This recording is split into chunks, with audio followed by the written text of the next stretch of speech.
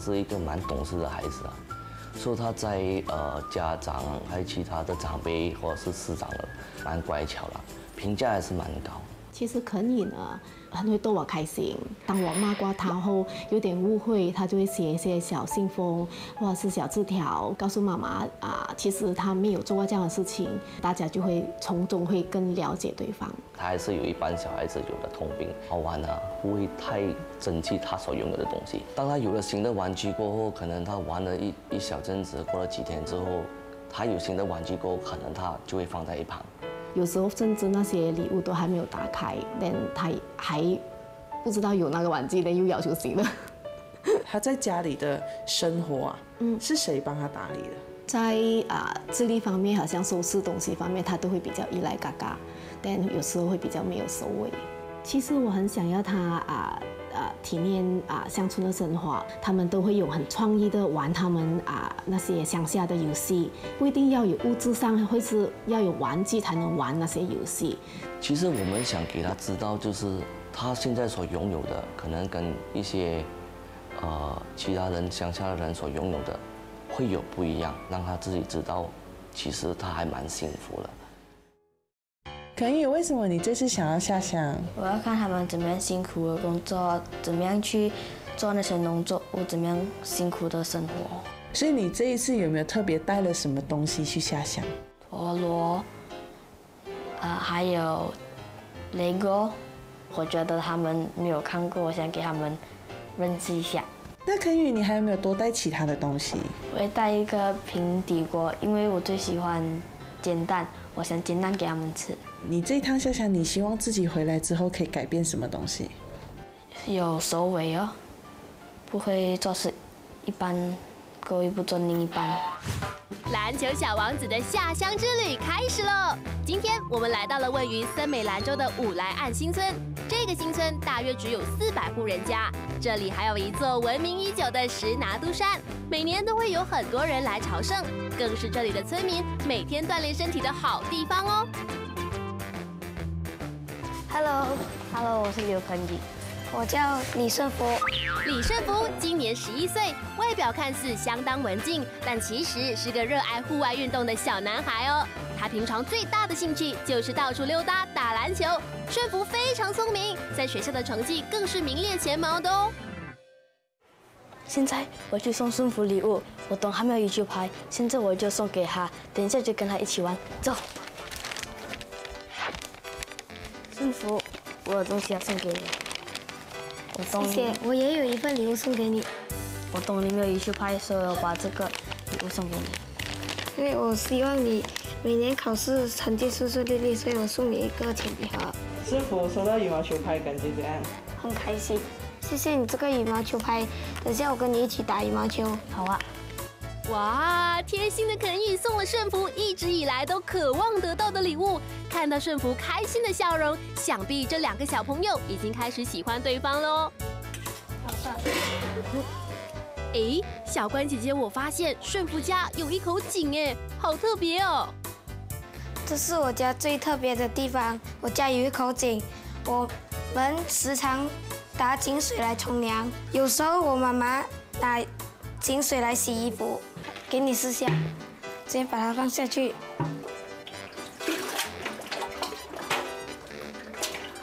OK，拉上来，拉上来。啊，够了。哎呀，顺福，我有很多游戏跟你分享。第一个是这个，它可以什么的？这个可以转，转成很多样形状的。哇！你可以把它变成枪、刀、球，连乌龟都可以。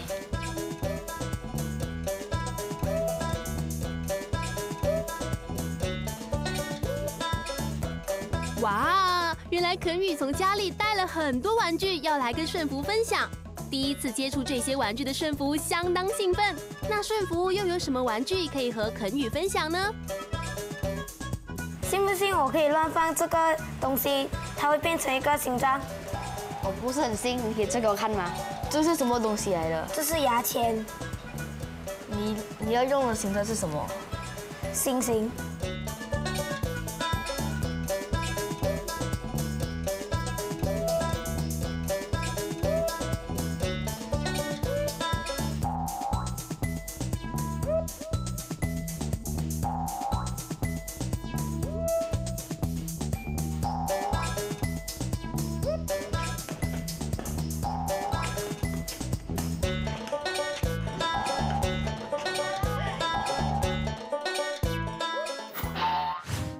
今天第一次见到顺福，对吗？嗯，他很 friendly 哦。我一来到，他就介绍我他爸爸妈妈，过后他就带我去参观他的家，教我怎么样打水。我我很开心，所以我送他一个见面礼。他看到这个见面礼，他很开心，因为他没有这个，他没有这个牌，我送了他个，我就可以跟他一起玩泥鳅。那他今天有没有教会你什么游戏？牙签，过后滴水上去就变成另外一个形状，可以变成星星。这个东西你之前有看过吗？有听过人家讲，但是没有亲眼看过。像你玩完牙签呢，你的感想是什么？很神奇，很特别哦！我想我回家的时候一定要跟我弟弟分享呀。你跟顺福，你觉得你们可以合得来吗？嗯，是可以合得来的啦。今天你第一次见到肯宇，你的感觉是怎样？他是一个很容易相处的人，每次我们都很合得来，一直聊天啊那些。嗯，那你们今天做了什么事情？我们打羽毛球，玩一些游戏，LEGO、陀螺、象棋和那个 Mono 玻璃，很开心可以玩到这些没有看过、没有玩过的玩具。这些玩具你都玩过吗？没有，那你平常有玩具的吗？没有。那你平常的玩乐是什么东西呢？看电视或者是看故事书。有时跟朋友出去游乐场，或者是打球。灭掉他的头，灭啊，昂它的头，灭掉他，丢这边来，踩完了色，这样熬熬断它，这样剪剪熬。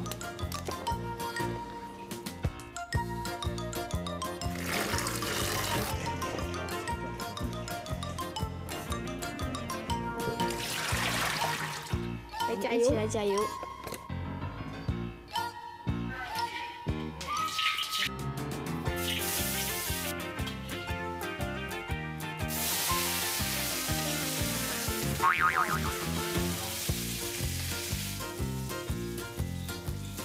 个是我从 KL 拿回来的平底锅，是特地拿来煎蛋给你们吃的。谢谢你。我们要放油，等那个油慢慢变少了过后，就加就把那些蛋放进去。但是放进去之前，我们要放那个胡椒粉还有盐在里面搅。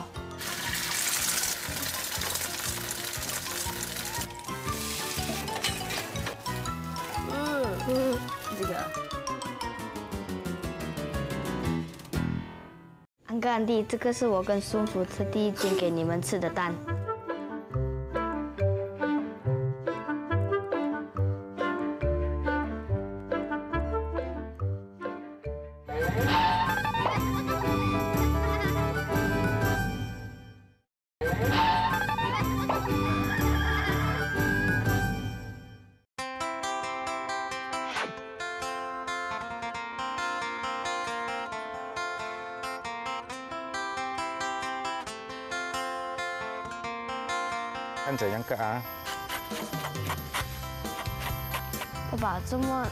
刀是凹进去的？啊，因为这是刀是割脚的刀来的啊，不是普通的刀啊，我们普通的刀割不到的。割到这边，它的脚就这样下了哦，对吗？我们要这样弄一下它，然后才可以到那个铁那边。那么呃，一棵树可以大概割几次？一棵树可以割很多年了，二十年啊，三十年啊，它的皮要深厚了，我们才可以割。那么如果它生了够割了，又再生再割，这样子重复的啊，重复可以。会几次才会没有脚？啊，一直割咯，割到它那棵树死了。我们砍了可以种植七八年，我们又可以重复了。你们收胶的时候啊，那桶放好，我们这样倒下去，对吗？嗯。啊，然后我们放回原位去。如果你不没有放回原位，它掉了，不会掉进那个杯子嘛，对不对？我们一定要放回原位的。你不要说啊，收了乱乱丢，乱乱丢这样，啊，不可以的，因为我们要放回原位，它还有胶质下嘛，对不对？啊，就这样啊，啊，嗯，你去那排咯，那排，你在这边收着上，一个人收一排咯，对吗？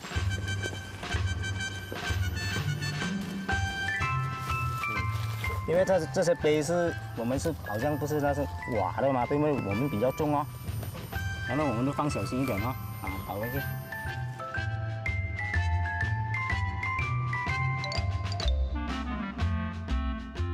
爸爸，你可以讲一下，就是说你一天下来的生活行程是怎么样的吗？睡醒来，然后绑那个我们割胶的工具啦，然后我们吃饱了就这样，我们就上去割胶了。去到那边，我去割割割割到差不多要四个小时这样啦，割完了，然后我们休息吃了东西，我们才收胶啊。说我们就再下来咯，再下来再去卖咯。如果还有时间，我就去做一点 part time 咯。那平均每一天你割胶，大概平均可以收入多少？啊，我们收入是三十块啊，二十五块啊，这样不一定啊。part time 也是没有天天有有的好做的，也是四十块、五十块这样啊，一天的生活了，这样哦。可以，你今天学习到什么东西？割胶、收杯，来到胶原的感觉是什么？很开心，但是很痛苦，因为给蚊子咬的很多，所以你觉得割胶辛苦吗？很辛苦啊，有很多树割，又要去收杯，时间很长啊，要很有耐心啊。在这一次下乡之前，你都没有看过割胶或者胶枝，我只看过橡胶树，但是我我没有看过人割胶。如果你之前想象的话，胶枝是什么颜色？胶质啊，褐色，因为我看到树是褐色，很特别啊。我完全不知道会这样子，白色的，黏黏，很臭。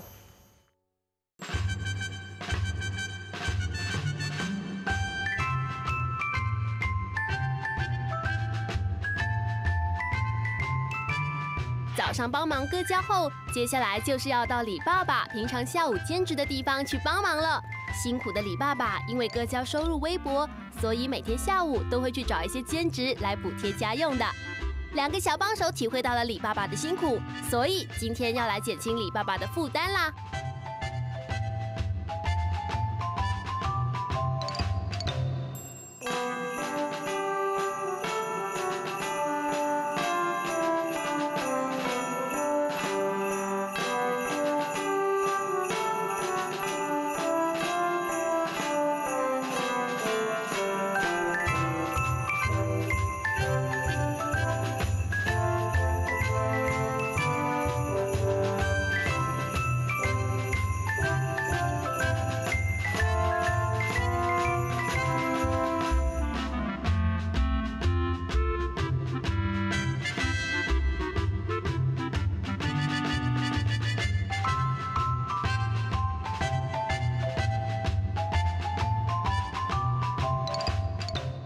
为什么今天会来到这边？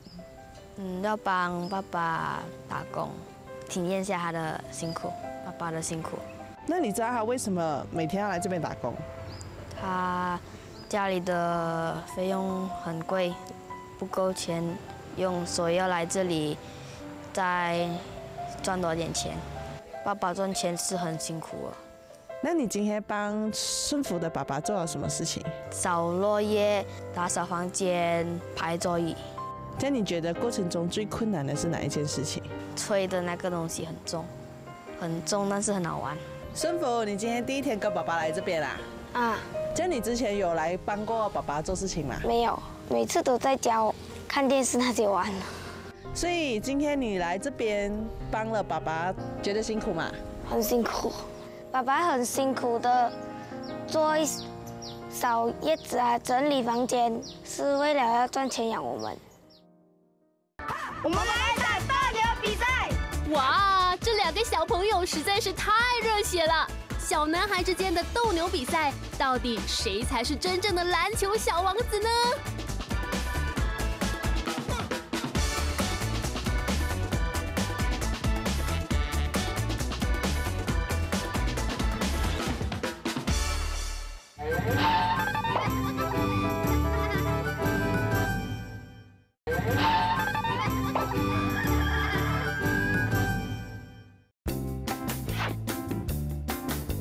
就是闻名已久的石拿督山。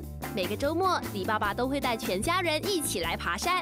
这个爬山运动是顺服一家人维系家庭乐趣的活动，肯宇当然也不能错过喽。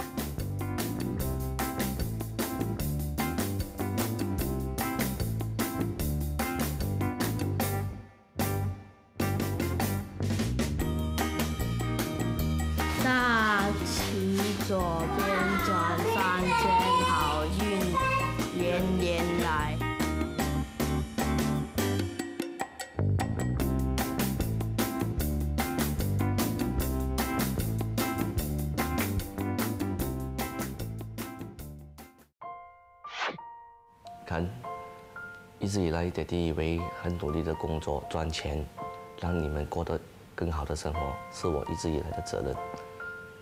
所以在你小的时候，爹地都不会有太多时间的陪着你。我也听妈咪说，以前你小的时候，你很渴望像其他的小朋友、同学，爹地可以时常去接你放学。但是这一这一点是爹地那时候很少做得到的，这是爹地对你。对你的一个很很很很愧疚的事事情，也因为这样子，所以爹地在物质上一直提供你很多的东西，造成了你今天对物质上的要求越来越多。其实爹地也应该负大部分的责任。希望通过这次能够让你有一个新的体验，能够懂得怎样去感恩和惜福。可能在你的身上呢，会啊跟其他小孩子有点不一样，但是你是很特别的，而且呢，你都很乐观的去面对。就像这次巴列干波呢，你很你都嗯很勇敢的讲你要去尝试，这一点呢，真的是感染了我跟爹地。将来呢，我都很希望你能不要去理会别人怎样子看待你，最重要是我们怎样怎样看待我们自己。我们都希望你能幸福开心的啊生活下去，爸爸妈妈都很爱你。其实，我不，我们和妈咪都不只想成为你的爹地妈咪，我们也很希望能够成为你的好朋友，能够一直陪着你成长，陪你分享你的生活点滴。希望你将来会有一个很快乐的生活，无论面对什么问题，都不要放弃，我们永远都爱你。